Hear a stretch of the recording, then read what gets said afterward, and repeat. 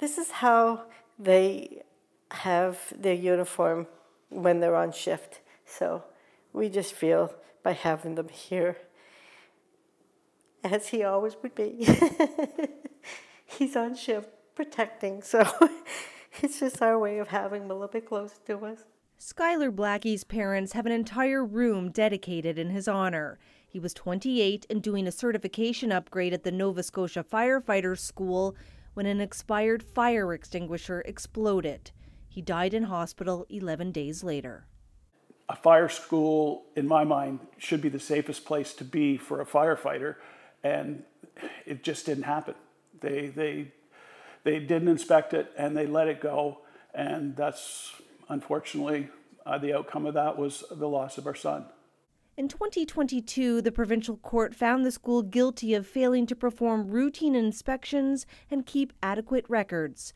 Now, the training facility has received 41 new safety recommendations as a result of a third party review ordered by the court. The province says it has noted 22 high risk activities in the report, but would not disclose details. It's unacceptable, and we can't be quiet anymore. We can't hope and wait because hoping and waiting is, could just lead to another death. And it has to change now.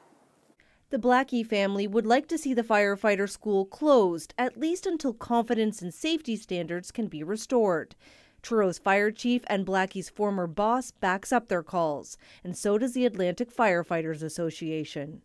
In our opinion, if Skyler's tragic death wasn't a, enough of a wake-up call for the people that run that institution, uh, we're not sure that the culture will, ever change when it comes to safety. Uh, whether it's uh, time for a change of leadership or time for the government to step in, uh, you know, we, we need to get some people together to discuss that. Uh, but at the end of the day, Nova Scotia's firefighters need a safe place to conduct their training.